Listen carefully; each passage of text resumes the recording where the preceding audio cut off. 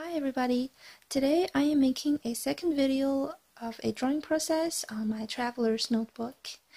Lately I have been doing a lot of portraits in pen and wash and I think you can call, also call it ink and wash. On my Fauxdori I have sort of been using it as an art journal for that and I enjoy it very much.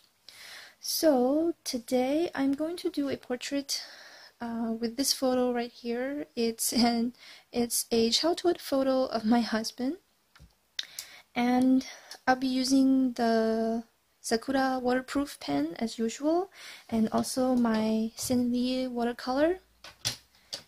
And for the brush, I think I'll just be using the number three liner right here because the portrait is going to be relatively small.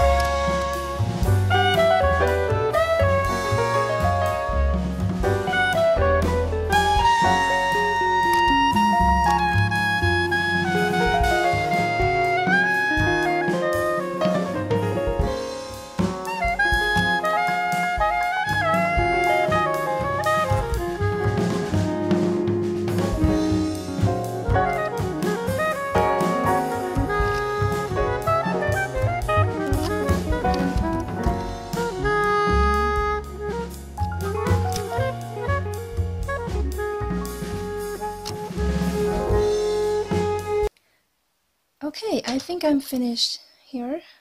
Although I think it, it still lacks some details, but it doesn't matter. I'll come. I'll probably come back later to add them.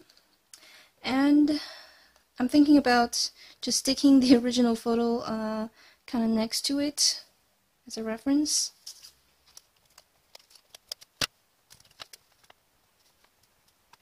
Okay, so this is um, pretty much finished. And I really hope you enjoyed this video. And feel free to leave me a comment if you wish to see more of uh, my drawing process video. I'll try to make them on a regular basis. Thank you very much for watching. Bye.